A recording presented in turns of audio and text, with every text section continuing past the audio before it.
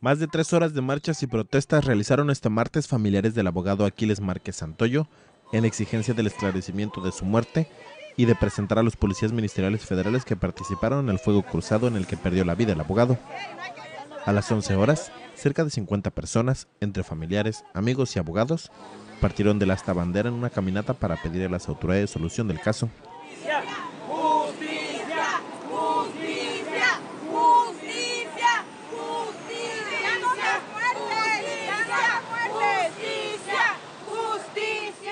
Con ropa y cruces blancas, marcharon por la costera Miguel Alemán hasta Wilfrido Maciú, subieron hasta la avenida Cuauhtémoc y luego hacia la subdelegación de procedimientos penales de la Procuraduría General de la República.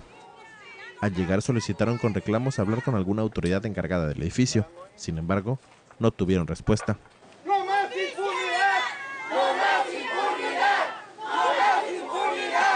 Lanzaron consignas contra la dependencia federal y colocaron pancartas y cruces blancas en la entrada principal.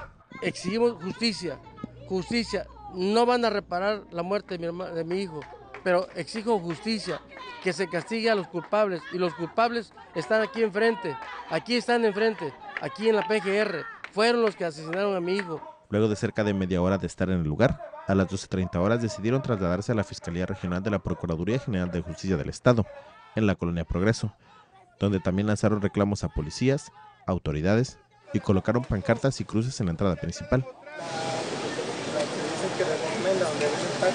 Fue aproximadamente hasta las 13.30 horas que personal de la Fiscalía Regional recibió a una comisión de seis familiares para dialogar sobre el caso. Sin embargo, no hubo respuesta favorable. El fiscal regional, el procurador son, son vienen de la PGR y, y, los, y los elementos que asesinaron a son de la PGR hay confabulación, hay colusión, hay, hay protección.